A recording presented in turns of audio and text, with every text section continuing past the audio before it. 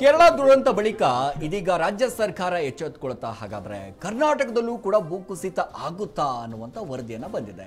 ಹಾಗಾದ್ರೆ ಏನೆಲ್ಲ ವರದಿ ಇದೆ ಅನ್ನೋದು ಯಾಕಂದ್ರೆ ಸಹಜವಾಗಿ ಕೇರಳದಲ್ಲಿ ಆಗಿರುವಂತ ಈ ಘಟನೆ ಮಾಸು ಮುನ್ನವೇ ನಮ್ಮ ರಾಜ್ಯದಲ್ಲೂ ಕೂಡ ಇದೇ ರೀತಿ ಘಟನೆ ನಡೆಯುತ್ತಾ. ಕೇರಳ ದುರಂತ ಬಳಿಕ ಎಚ್ಚೆತ್ತುಕೊಳ್ಳುತ್ತಾ ರಾಜ್ಯ ಸರ್ಕಾರ. ಕೇರಳದ ಬಳಿಕ ಕರ್ನಾಟಕಕ್ಕೂ ಕೂಡ ಗಂಡಾಂತರ ಕಾದಿದೆಯಾ ಅನ್ನುವಂಥ ವಿಚಾರವು ಕೂಡ ಬರ್ತಾ ಇದೆ. ರಾಜ್ಯದ ಇಪ್ಪತ್ತೊಂಬತ್ತು ತಾಲೂಕುಗಳಲ್ಲಿ ಭೂಕುಸಿತ ಸಾಧ್ಯತೆ ಅನ್ನುವಂಥ ವರದಿ ಬಂದಿದೆ ಅಂತೆ ರಾಜ್ಯದಲ್ಲಿ ದುರಂತ ಸಂಭವಿಸಿದಂತೆ ಎಚ್ಚರಿಕೆ ನೀಡಿದ್ದಾರೆ ಎನ್ ಡಿ ಆರ್ ಎಫ್ ತಂಡ. ಏನಾದರೂ ಈಗ ಭೂಕುಸಿಯುತ್ತೆ ಹಾಗಾದರೆ ಕೇರಳದಲ್ಲಿ ಯಾವ ರೀತಿ ಘಟನೆ ಆಯಿತು, ರಾಜ್ಯದಲ್ಲೂ ಕೂಡ ಇದೇ ಆಗುತ್ತಾ? ನಮ್ಮ ರಾಜ್ಯದಲ್ಲೂ ಇಪ್ಪತ್ತೊಂಬತ್ತು ತಾಲೂಕುಗಳನ್ನು ಈಗಾಗಲೇ ಒಂದು ಕಡೆ ಗುರುತಿಸಿದ್ದಾರೆ ಅನ್ನುವಂಥ ಮಾಹಿತಿ. ಏಳು ಜಿಲ್ಲೆಯ ಇಪ್ಪತ್ತೊಂಬತ್ತು ಸ್ಥಳಗಳಲ್ಲಿ ಭೂಕುಸಿತ ಪ್ರದೇಶ ಗುರುತಿಸಿರುವಂಥ ಎನ್ ಡಿ ಆರ್ ಎಫ್ ತಂಡ.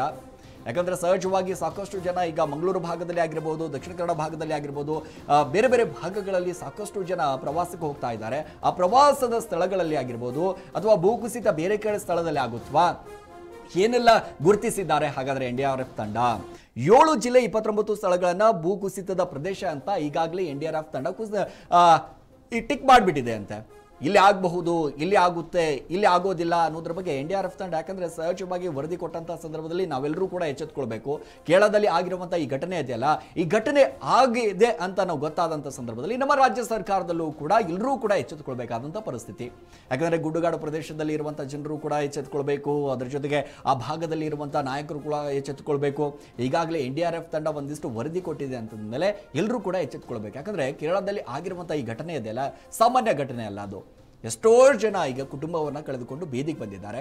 ಅಂತ ಸಂದರ್ಭದಲ್ಲಿ ಅದಾದ ನಂತರ ನಮ್ಮ ರಾಜ್ಯಕ್ಕೂ ಕೂಡ ಇದರ ಗಂಡಾಂತರ ಕಾದಿದೆಯಾ ಅನ್ನುವಂಥ ಮಾತುಗಳು ಕೇಳಿ ಬರ್ತಾ ಇದೆ.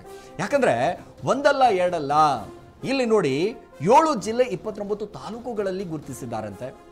ಸಹಜವಾಗಿ ಯಾಕೆಂದರೆ ಪ್ರವಾಸಿ ತಾಣಗಳು ಇರುವಂತಹ ಸ್ಥಳಗಳಂತಂದರೆ ನಾವು ಚಿಕ್ಕಮಗಳೂರು ಆಗಿರ್ಬೋದು ಈ ಬೇರೆ ಬೇರೆ ಪ್ಲೇಸ್ಗಳಾಗಿರ್ಬೋದು, ಸಾಕಷ್ಟು ಈ ಹಿಲ್ಸ್ಗಳಾಗಿರ್ಬೋದು.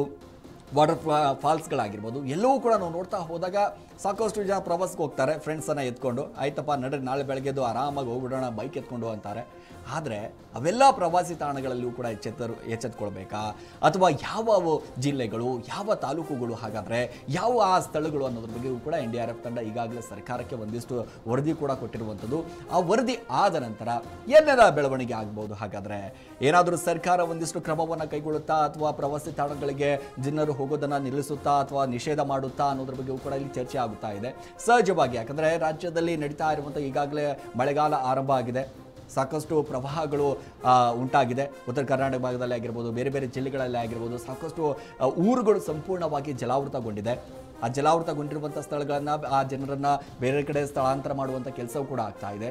ಆ ಹೊತ್ತಲ್ಲೇ ಇದೀಗ ನಮಗೆ ಕಾಡ್ತಾ ಇರುವಂಥ ಕಟ್ಟಕಡೆ ಪ್ರಶ್ನೆ ಏನಂತಂದರೆ, ನಮ್ಮ ಕರ್ನಾಟಕದಲ್ಲೂ ಕೂಡ ಇದೇ ರೀತಿ ಒಂದು ಘಟನೆ ಮತ್ತೆ ಮರುಕರಳಿಸುತ್ತೆ, ಯಾಕಂದ್ರೆ ಕೇರಳದಲ್ಲಿ ಆಗಿರುವಂಥ ಘಟನೆ ಆದ ನಂತರ ನಮ್ಮ ರಾಜ್ಯಕ್ಕೂ ಕೂಡ ಇದೇ ರೀತಿ ಗಂಡಾಂತರ ಕಾಯ್ದಿದೆಯಾ ಅನ್ನುವಂಥದ್ದು ಕೂಡ ಭಾಳ ಸಹಜವಾಗಿ ಗೊತ್ತಾಗ್ತಾ ಇರುವಂಥದ್ದು.